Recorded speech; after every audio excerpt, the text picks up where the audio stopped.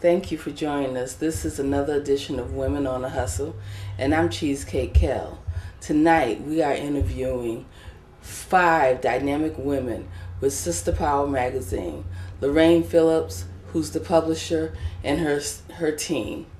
So please enjoy this. Afterwards, we have an interview from our sister station, Neo Soul. They're interviewing the producers and directors of I'm Through with White Girls that actually won the American Black Film Festival in LA. So please sit back, relax, and enjoy. Hi, I'm Kelly, and you are watching Women on the Hustle. Thank you for joining us once again. Tonight, we have the editor and publisher of Sister Power magazine and her team, Lorraine Phillips. How are you? Hey, I'm fine. How you doing, Kelly? I'm doing well. Great. So, tell us something about yourself. Tell us how you got started. What's this idea, Sister Power magazine, all all about? Well, Sister Power actually started about eight years ago. Um, at that time, a, a, group of friends were sending around emails to each other, inspirational emails, and I just found it found it so coincidental that the email always applied to what was going on in my life. You know, it would speak to whatever was going on in my life. So I wanted a way to expound on that and just share. Um, those emails with more than the 15 people that was on that list. So I came up with the idea for a website. And that's basically how the magazine came around. Um, we've all been working together for like eight years now. Actually, Stephanie's new to the team, so she's been with us two years. But the rest of us have been working together for about nine, eight, nine years. And um, somewhere along the line, it came along. You know, I came up with the idea, or we came up with the idea for the magazine to take the uh, website to the next level. Your co-founder, someone that's really close to you. Tell us about her. Well, um, I think even in my letter to the from the editor, I say she is the light that has led us to where we are right now, because she suffered an illness that. Um, she just she was so dignified even at the end and you know she let me know that it's not over until it's over because throughout her her whole illness I saw her fight the entire time I never saw her you know blame God or say why me? Or I just saw her continue to fight and continue to be a blessing in others life in others life. So sometimes when I'm, you know, enduring personal hardship, whether it's my own personal life or the magazine, I think about her and how she endured things and how would I cope if I was her? Because sometimes I'm a bit of a baby, big baby. So I think about how strong she would be, and she would just take everything in her stride and keep it moving. So I think all of us learnt from the way we saw her handle her disease, and I think that's a big part of the reason why we're sitting here today and we have our magazine in front of us because of the lesson that she taught us. Okay, and who is this she? Oh, What's oh, her name? Jackie Cornelius. Jackie she Cornelius. was the original founding member along with myself. Okay and um, that picture of her that I saw, and I also noticed it in the magazine because for a minute I thought it was you, and uh, she she was incredibly beautiful, and I could kind of feel her spirit yeah. in in that photograph. Everybody says the same thing about that. So tell me about this magazine. When will it hit the newsstands? And well, actually, hit the newsstands today. Ah. Uh, but it's limited edition, so you know, it's basically where you can find it. In Atlanta, we are at the all the major black bookstores, the Shrine, Medu, and obviously we're available online. But I think as we grow, um, our distribution will grow. Absolutely, because you know what, Essence only sold one copy at first. exactly. Okay, exactly. so it's it's it's you know everybody's got to start somewhere. Yeah. You know. It's back growth. So tell me a little bit about your background. Uh, I hear a little accent. It doesn't sound like it's from Mississippi. so, where are you from? I'm originally from the UK. Okay, um, and that's London, y'all. If y'all ain't know. Yeah, London. Okay, there's black folks over there. Because surprisingly enough, you know, I, I still get the question we got black folks, black folks in the UK, and I'm like, you know, don't be fooled. We are everywhere. But you know what? It's the thing about the UK? When you say UK, folks will be like, UK. Just say England, London. She's British. Okay. Know, I, told a guy was from the new UK. He was like, speak some French. okay. Growing up in the UK, uh, you can pretty much say I wasn't doing the things I was supposed to be doing as a teenager. And or you could say that you were because you know we we are all our journeys are all predestined and right. we are doing what we're supposed to do. It may not be what other folks think we're supposed to do but it all leads us to where we are. You're right. so. Well, I was doing what you was uh, doing wrong. You was sinning she was doing some sinning y'all Basically, you gotta be a bad girl to get to the good parts telling you, I mean, I'd never change a thing. But um, basically, one day there was a family meeting. I was about 18. there had never ever been a family meeting in all my 18 years. okay And there was a family meeting, and the next thing I knew, I was on a plane to America. so they were talking about uh in your ass right And, and you know, they sent me to Mississippi, which was the perfect spot because coming from London, I, I didn't need to go to another fast pace. You know, Mississippi made me slow down and get into my studies and things like that. So it was perfect. So, did you really think when you coming from London to Mississippi, did you think that America was like Mississippi? Were you like, damn? I was pretty shocked because I, I had been to the Caribbean, and you mm-hmm. know we have you know little shotgun houses and stuff like that. So when I got to America and saw that, you know, it was pretty close to what I'd seen in the Caribbean, I was pretty shocked. I, I can imagine they sent you to the poorest But the joke, state. but the joke is, when I got here, my aunt, I think she got it mixed up with Missouri or something. she told me it was the coldest state in America. Oh, So when I arrived, I was in sweaters, boots, thick wool coat. I was about to pass out in line trying to register. I, I I soon found out it was the hottest, one of the hottest states, and not the coldest. So. Absolutely. Okay, so tell us about this person sitting next to you. Who is she and what is she to you? Well, she actually is my right hand woman. Is Candice Bovian. She recently got married, so I have to get used to the new. And um, Candice is our production director. She can tell you more about herself. Okay, Candace. So we heard that you recently got married. So how's that going? Uh, marriage is wonderful. Is it? Yes. Good. So did you have sex bringing the new year in? I plead the fifth. Okay. All right, y'all. She. I'm trying to get to the juicy parts, the story behind the story of Sister Power. See, these women are trying to be prim and proper, but before the cameras was rolling, they was talking some things.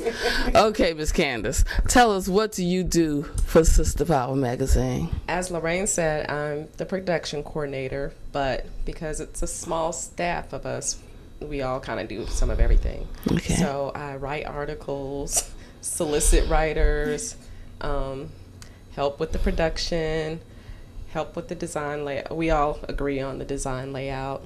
Um, oh, oh yeah, I do a lot of PR. I try to get our the name out there, try to get publicity for Sister Power. Okay. All right. So you are truly a woman on the hustle. I am a Abs- woman on the hustle Absolutely. You wearing many hats, which is what we all do. While holding down a full time job. Absolutely. But you know what? Next year, this time, we're going to come back on uh, J- January 1st, 2009, and we're going to see where we are then, okay? So this is going to be like a time capsule thing. Y'all ever fly out to Jamaica? Cause I'm going to Hey, but you know what? You're going to you're gonna be so large, you're going to be able to fly us out there. okay. That's how, so, yeah. Okay, now who is this woman? I am Aladra Gonzalez. Excuse me, because I am suffering from a little bit of laryngitis right now. Okay. But uh, I met all of these women, with the exception of Stephanie, at uh, WebMD eight years ago. That's how we all met. I am uh, the executive editor of the magazine, but I also, like Candace said, wear many hats. I've been doing some distribution work, uh, trying to figure out our cost and the packaging and everything of that nature. And uh, I write articles for the magazine as as well as just submit story ideas. We just kind of sit back and, and, and do what we can to help each other out.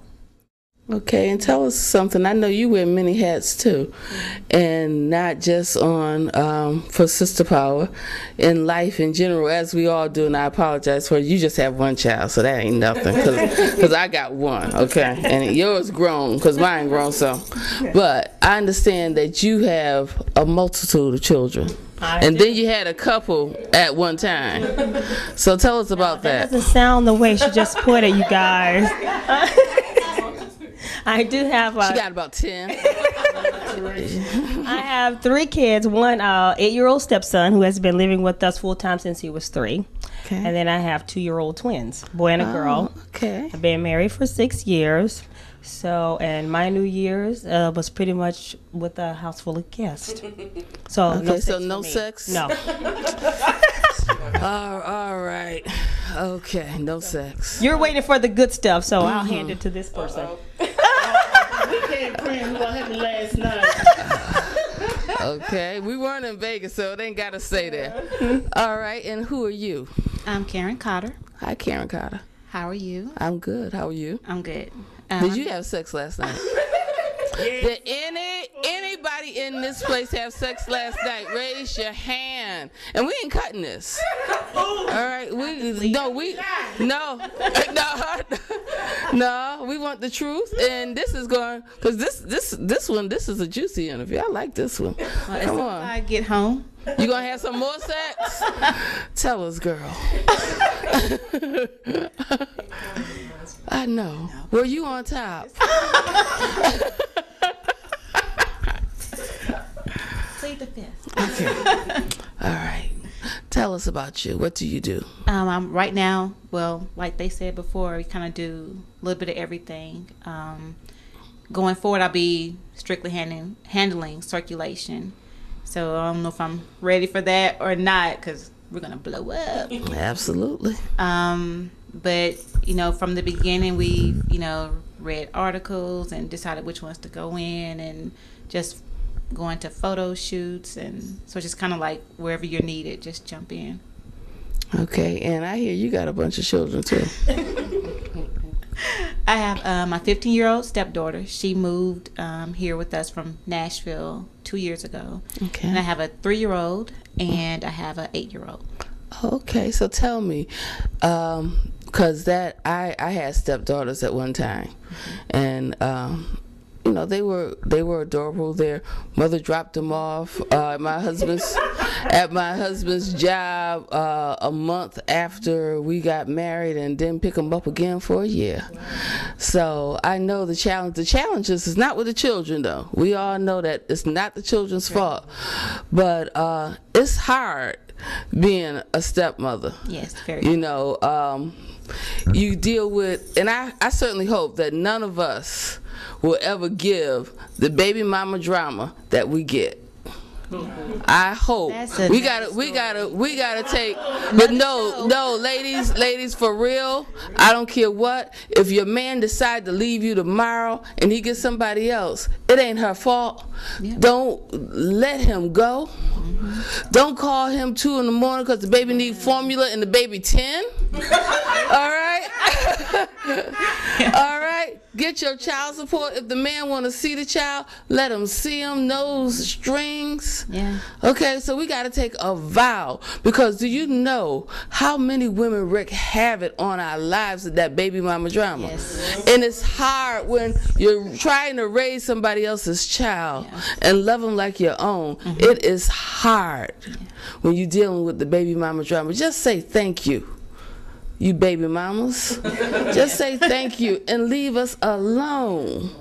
Because I'm newly divorced and I'm kind of wondering, you know, because you're always a mom, you know, when you have your own children, but when they're not yours and you're no longer a wife, are you still, you know, that's that's kind of, you know, I still want to do things for them and see them and stuff, but they got a new uh, uh, surrogate mother in place. So it's kind of it's kind of difficult, Yeah. you know, um, with with that regard. And they don't call me just like their daddy don't. So I'm like they he was through with me, they through with me too. We have a good relationship. That's Um, good. I met my husband. She was two. Oh, okay. So we had a good, we have a very good relationship, but Okay. it's still different when you're coming from you have one set of rules, you know, with your mom and, and how we Mm-hmm. Do things. You know, here it's you know totally different. Not to mention you have younger siblings, you know Mm-hmm. that they don't understand. They just love you. They want your attention. Mhm. So just just, getting used. Mm-hmm. to having that constant, you know, you know, hey, hey, you know, it was just an adjustment for for everybody. Not to mention, you know, now there's the whole boy thing and School and yeah, so it's an adjustment, but it's gotten a lot better. Oh, that's good. When you go home, give her a hug for me, okay? Okay. All right. Now we got last but not least, Miss Stephanie. Tell us what you do, Stephanie, and how you do it. And did you have sex last night, girl? Um, well, I was going to try to answer before you asked, but unfortunately, did not have sex last night. You gonna have some tonight? I'm gonna, yeah, I'm gonna figure something out. That's my girl. Do do do do it do it for the take one for the team. Take one for the team. um, again, I'm the newest member of the team. I've been officially with the team for about two years, I would say. Um, I met Lorraine. I'm her hairstylist.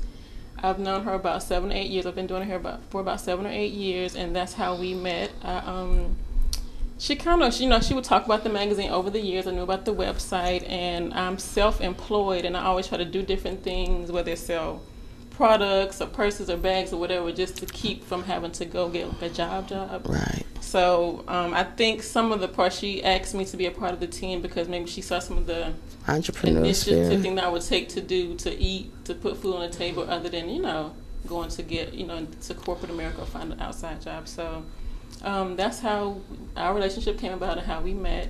I have a ten year old daughter. We haven't made it to the teen stages yet. And she's adorable. She's really is. I She- was blessed. She really is a yeah, sweetheart. yeah, she really is. Um, I've been divorced ten years. Okay. Some of you, even on the team, might have not known that, but I've been divorced ten years. Okay. And Married to Marvin Gaye. uh, Looks just like Marvin Gaye. But um, that's my story, and I really, I always wanted to say this to the team to thank you all for allowing me to be a part of such a dynamic group of women. You know, for them to even, I always tell Lorraine, just for them to be a team and to be able to hold things together. You know, for eight years, that's alone just says a lot in itself. You know, no cat fights have broken out, nobody pulled nobody hair out, nobody lost no weave, no locks have been pulled out. So that alone, And you know what? And before the magazine it's just amazing to be able to do that. I have to commend you all because I I'm really all about loving, supporting, and encouraging one another, and that's what we as a women just don't do enough. And I I hate to say that it's it's race based because I think that things happen that are character, not color issues. But since what we know primarily is us, we really need to do more to celebrate each other and realize that what you have can only enhance what I have. You know, it doesn't take anything away.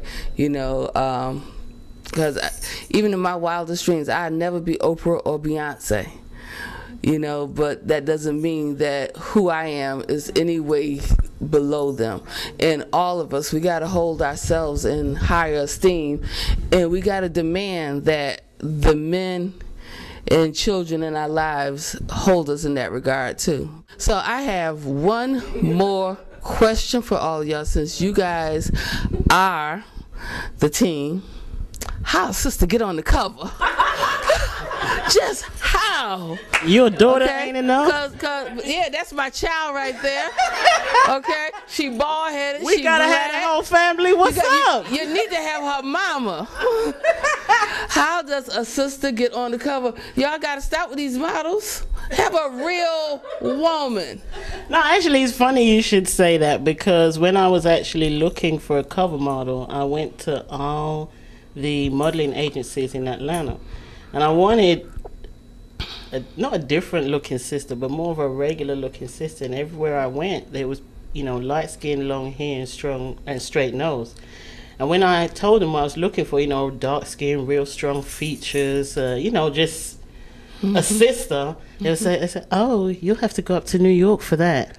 So literally, we don't go to modeling agencies anymore. We literally just pick women off the street because that's what we represent real women. Okay, wow. We're all different shapes, colors, sizes. I, I'm a real woman.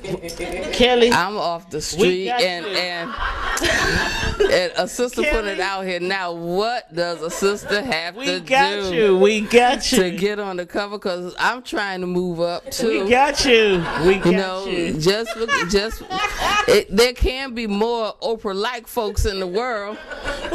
You know, We got you, but just playing playing on what you just said as well about you know us celebrating each other. Actually, sister power is a celebration of women, absolutely. and you know brothers always say to me, "So when you gonna do ones for brothers?" I'm like, "I don't know nothing about that. You gonna have to do that." I'm trying to get the sisters right so we could be better mothers, better uh, uh um, wives. But you know what else? We got to be better to ourselves. Because you know what? one. So much. We spend so much time giving everything we got to other folks. Thank you. That we don't take enough back for ourselves. We don't give enough to ourselves.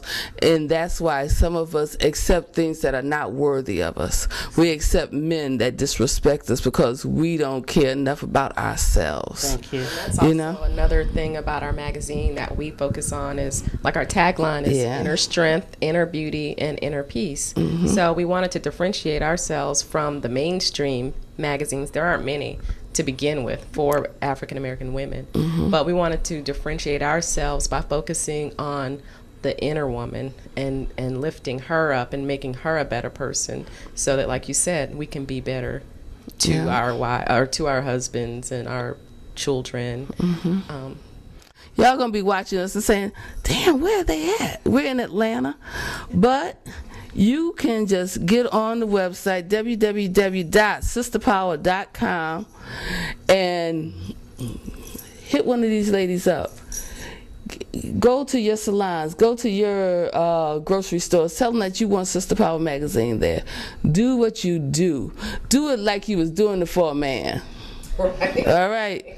Do what you do. Do it for us.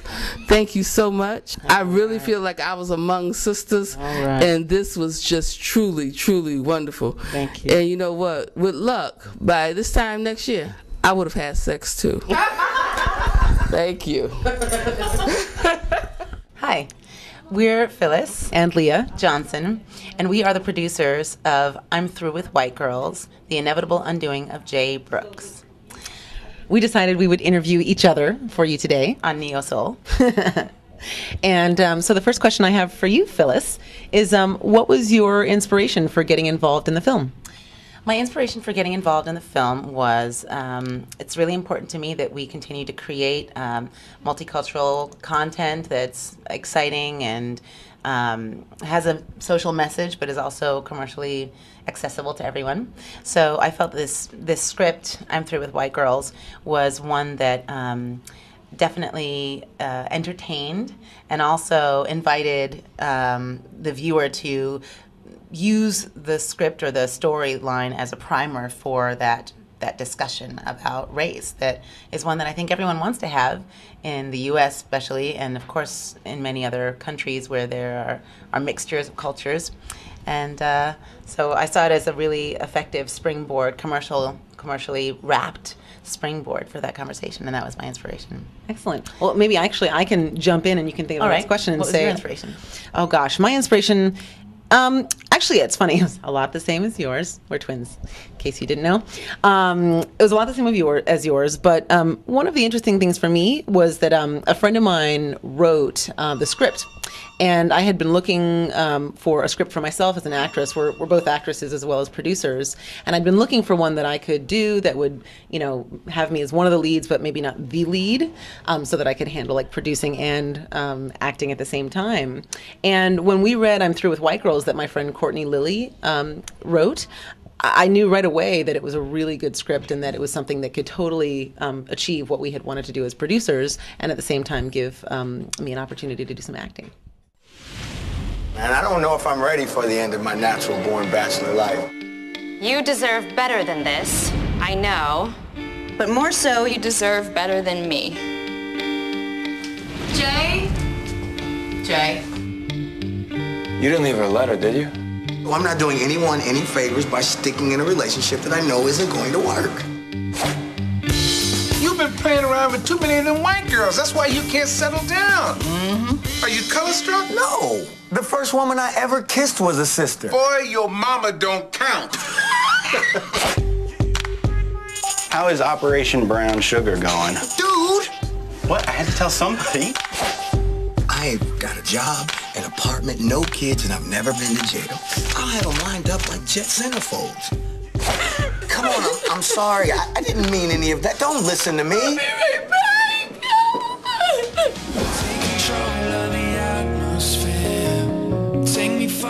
was not about color or class. You're just afraid to commit.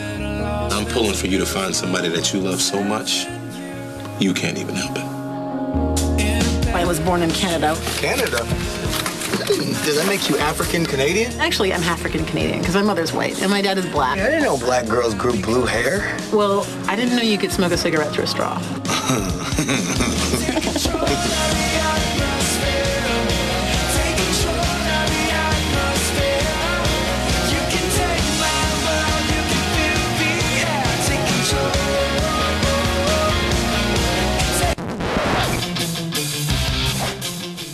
sure there's something so massively wrong with her. Jay, you say that about every girl you date.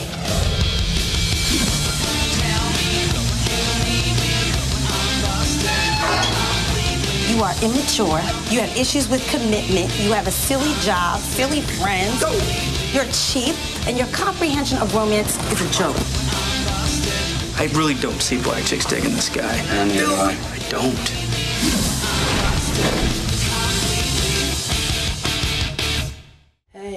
You so much. I hope you enjoyed the show, uh, the interview with Sister Power Magazine, and the clip of I'm Through with White Girls. I um, I know it was a little silly and I got a little risque there talking about the sex thing, but it was real, real. And if you could have only heard what they were talking about when we weren't taping, but uh, we had a lot of fun, and I'm about to go and have sex right now.